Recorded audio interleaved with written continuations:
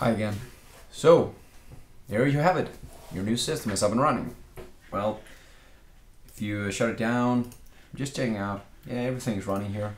So I can uh, do a lot of things here and every time I do a click here, I'm actually sending a request to the server and getting a response back from the server. And in this case, the re request is delete something. So it's a delete request and the response is it's deleted. So update your page. That's my guess. So let's figure out how all this is done before we move on. I want to build your first endpoint very soon. And uh, before we do that, I want to explain two things for you. And one is how this actually works in a more graphical way. And the second thing is I'm going to explain to you what Postman is and how we can use that for testing our endpoints. So let's start out with just explaining what's going on here when we send requests and get responses from a server from a client. So I've drawn this beautiful picture. I try here to present to you, we have a client here and he has some kind of IP. The IP is not important, the address, but the way we make our client is using AngularJS.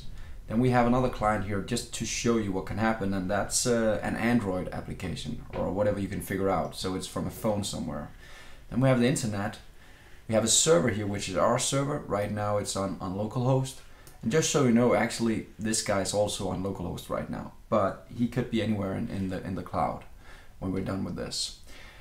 So the server is going to work with Express and Node.js. So that's why I drew these two here. And that, of course, talks down here and gets information back here from the database, which is our Mongo.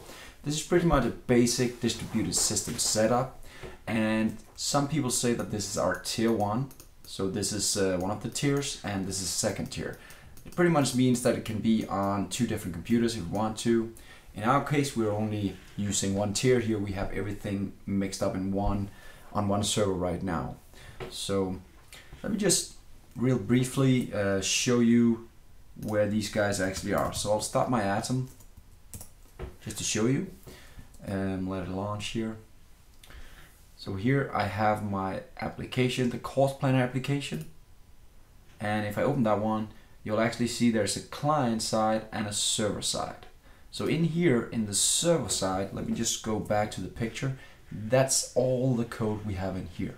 That's the server side of it. So the other folder in here in my scaffolded solution is the client side.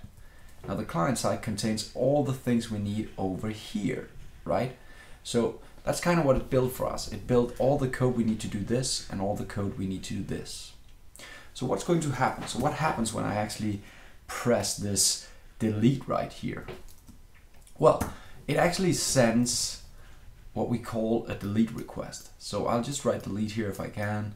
It'll send a delete request with a lot of information inside this kind of, let's call it an envelope. That was why I kind of drew this. It's sending a request with a lot of information. One of the information it's sending that's very important is what type of request is it. And that's where we say it's a delete request.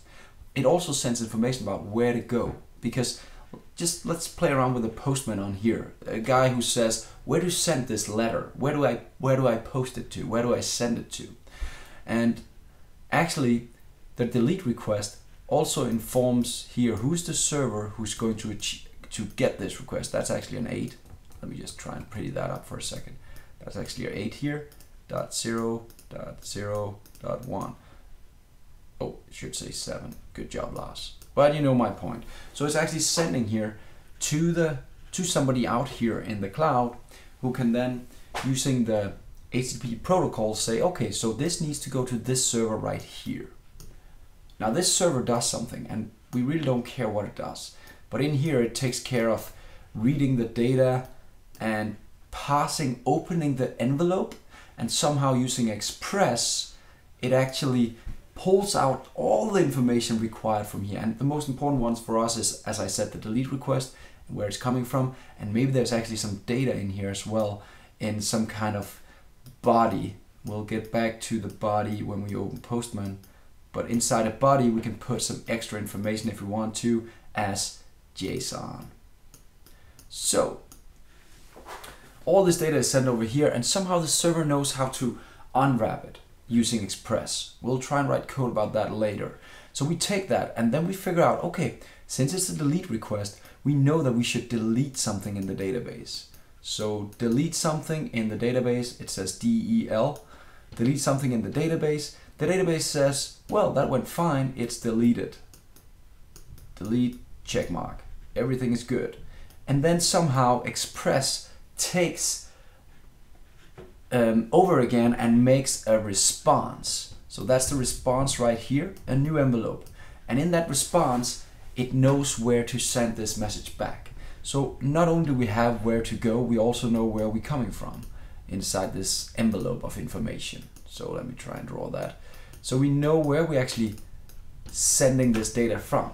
And that's being sent back to the response, goes into the net, and goes back to the client. Now the client gets information back from the server. In this case, everything is deleted. And when I do it, it removes it and refreshes the page. That was a single request. And that happens all the time. So we have delete request, which takes care of deleting things. Then we have what we call put requests, which takes care of updating things. So I'm just going to show you the different requests compared to the CRUD setup. That's the update. If we have one called post, that's actually creating something. So that's the create of things. Sorry for my beautiful letters here, I'm doing my best. And then the last one we have is actually get, a get request. And that's actually what we do when we want to read things. So that's the read. Okay, so if we look at our CRUD setup, the C is the post request, the R is the get request, the U in the CRUD is the put request, and the delete is also the delete request. So every time somebody does one of these requests, it actually sends something over the wire, does something on the server, sends a response back, and does something on the client.